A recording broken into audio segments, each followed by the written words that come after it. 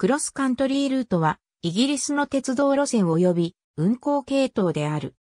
路線としては、ヨークブリストル間を指すが、系統としては、かつてのミッドランド鉄道の運行路線と重なる、イングランド南西端のコーンウォールからブリストル、バーミンガム、ダービー、シェフィールド、リーズ、イングランド北東部を経由してスコットランドまでを指す。イギリス最長の旅客列車は、クロスカントリールートの列車である。なお、下記には、ニューキーなどの沿海部の町への臨時列車が運行される。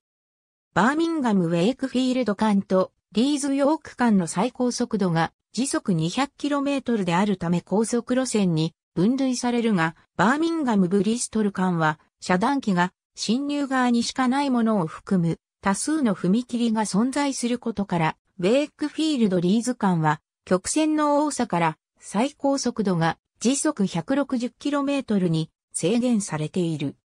バーミンガム・ブリストル間はグロスターを境にバーミンガムグロスター鉄道とブリストルグロスター鉄道によって建設され、バーミンガムブリストル鉄道に一旦統合された後1846年にミッドランド鉄道の一部となっている。バーミンガム以北はダービーまでがバーミンガムダービージャンクション鉄道、リーズまでがノースミッドランド鉄道、ヨークまでがヨークノースミッドランド鉄道ルナー、国有化によって建設された。1948年から1990年までの国鉄時代には、クロスカントリールートは6つのリージョンにまたがっていたが、ダイヤ上の優先順位は、どのリージョンにおいても低く、宣伝もされなかったため乗客数は決して多くなかった。1958年4月14日からダービー、ノッティンガム間の普通列車が客車から機動車に変更され、2都市間の所要時間が約34分になった。1990年代には多くの列車はインターシティ部門によって運行されており、1997年の民営化ではバージンクロスカントリーがこれらを引き継いだ。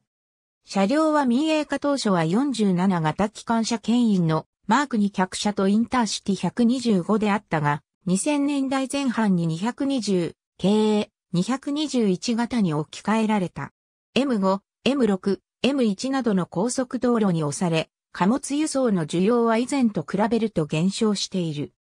1960年代頃からクロスカントリールートは電化の対象として検討され、始めており、1980年代前半に改めて検討が行われるとともに、いくつかの提案が1981年に表面化している。初期のディーゼル機関車が非力であったことから、電化はイギリスの本線級路線で最も急な勾配である、チルトナム・バーミンガム間のリッキー・インクラインにおいて、特に大きな効果を発揮するとされた。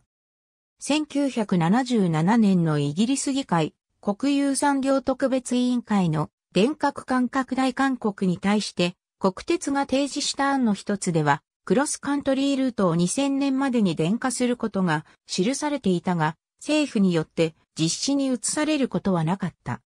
クロスカントリーネットワークこのうちブリストルヨーク間が、路線としてのクロスカントリールート路線としてのクロスカントリールートは、ブリストルヨーク間のみを指すが、この区間においてもサウスウェールズ本線、ミッドランド本線、スウィントン・ドンカスター線、イーストコースト本線の線路も走行する。この区間における主な都市は以下の通り。クロスカントリールートの前身の一つであるダービー、ブリストル線の起点は開業時からダービーであり、現在も路線の0マイルポストはダービーに置かれている。このため、すべての列車はダービーを境に登り、列車から下り列車になる。基本的に非電化ではあるが、ブロムスグローブからリッキーインクラインを経てバーミンガムニューストリートから約 1km のグランドジャンクションまでの区間やリーズ周辺、ヨーク周辺など一部の区間は、交流2万5000ボルトで電化されている。今後は、ノーストランスペナインの電化に伴い、リーズヨーク間が2022年までに電化される予定であるほか、グレートウェスタン本線近代化計画の一環として、ウェスターライジャンクションブリストルテンプルミーズ間が電化されることになっている。また、2014年には、ダービーシェフィールド間が、ミッドランド本線近代化の一環として電化されると発表されたが、2017年7月に電化計画は大幅縮小された。クロスカントリールートの長距離列車の大半は220系、ボイジャー221系、スーパーボイジャーによって運行されており、一部はインターシティ125が使用されている。これらは時速 200km での走行が可能であり、以前の47型機関車牽引マーク2客車から格段に高速化されている。レールウェイマガジンジューン 1958P432 バージンセズフェアウェル 247S ウィズペンザンスダービートリップレールイシュー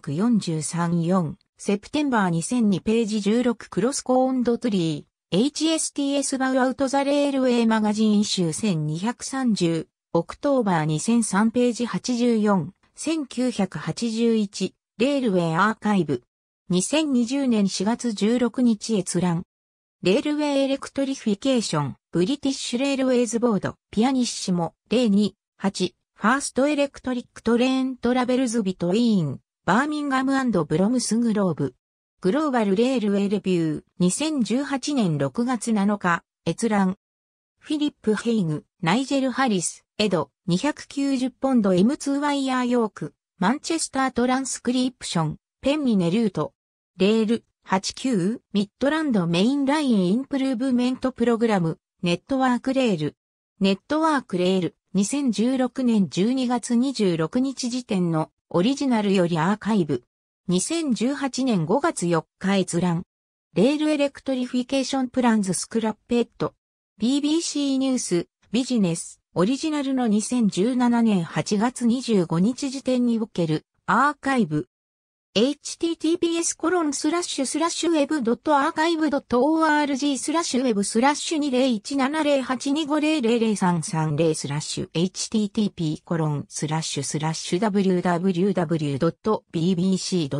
スラッシュニューススラッシュ business ダッシュ4066986692017年10月31日閲覧ありがとうございます。